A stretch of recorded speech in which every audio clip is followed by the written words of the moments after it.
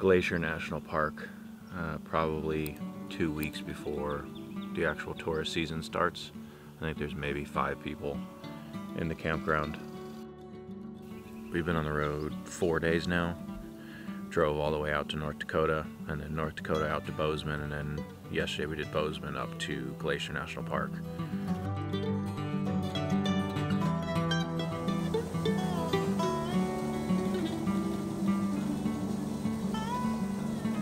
First three days were basically just getting prepped and set up. We didn't have a camper until yesterday, so we got the GoFast camper installed yesterday. We got the Thule cargo box on top to hold all of our extra gear storage. The plan now, uh, once we get moving this morning, is to cross the Canadian border and head north.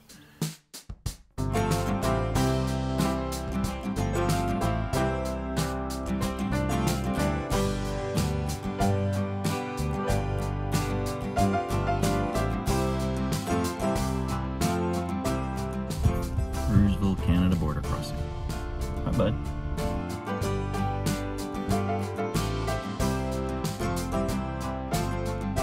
Made it through Canadian Customs about 10 minutes. Stopped at the side of the road to make a sandwich. Probably about two and a half hours to Banff. And an insane amount of Canadian Rocky Mountain scenery coming up.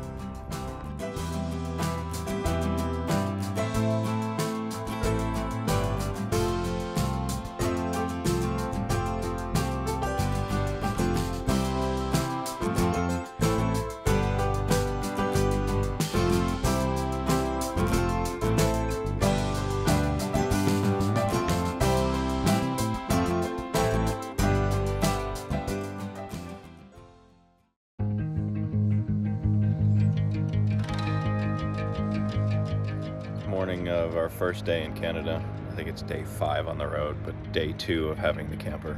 It's the second night in a row sleeping in the Go Fast. Last night got down to about 12 degrees, but the view this morning of just the mountains in all directions was insane.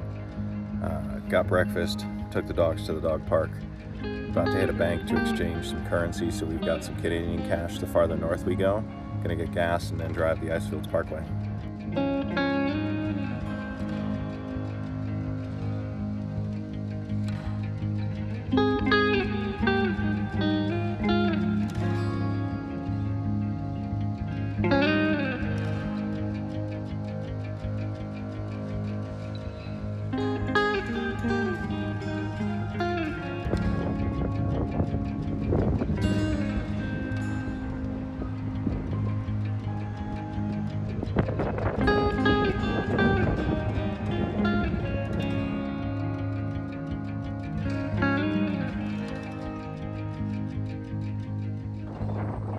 Coisa bárbara.